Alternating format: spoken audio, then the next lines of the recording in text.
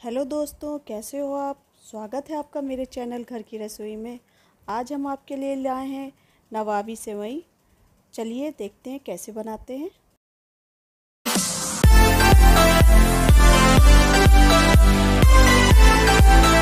नवाबी सेवई बनाने के लिए महीन वाली सेवई ली है, जो मार्केट में आसानी से मिल जाएगी। हमने एक पैकेट से यानी डेढ़ सौ ग्राम सेवई ली है। इसे क्रश कर लेंगे एकदम छोटे छोटे टुकड़ों में। अब गैस पर एक कढ़ाई चढ़ाकर उसमें दो टेबल स्पून देसी घी डालेंगे।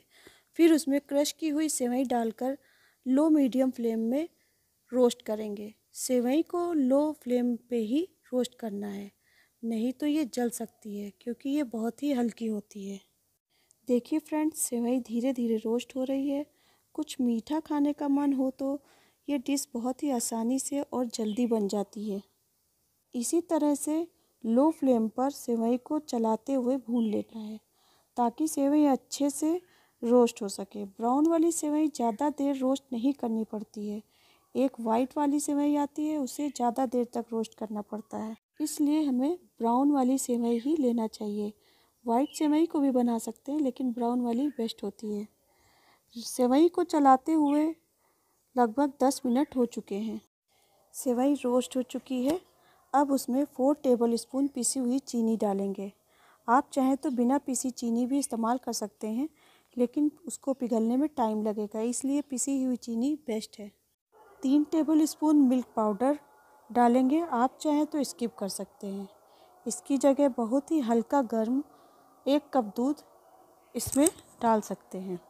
अगर आप मिल्क पाउडर की जगह दूध का इस्तेमाल कर रहे हैं तो दूध हल्का गर्म ही लें। ज़्यादा गर्म दूध सेवई को सॉफ्ट कर देगा। हम यहाँ पर मिल्क पाउडर का इस्तेमाल कर रहे हैं, पिसी हुई चीनी का इस्तेमाल कर रहे हैं। इन दोनों को सेवैयों में डालकर अच्छे से मिक्स कर लेंगे। अब हम आधा टीस्पून केवड़े में फ़ूड कलर मिलाकर सेवइयों में डाल देंगे। खाने वाले रंग को भी अच्छे से सेवई में मिक्स कर देंगे। आपको मेरी वीडियो अच्छी लगी है तो लाइक, सब्सक्राइब और शेयर ज़रूर करिएगा। जैसे मिलजुल गई है, अब इसे थोड़ी देर के लिए ढक कर रख देंगे। दूसरी गैस पे हमने दूध चढ़ा दिया था डेढ़ गिलास, उसमें उबाल आ चुका है, उसमें कंडेंस मिल्क मिला देंगे।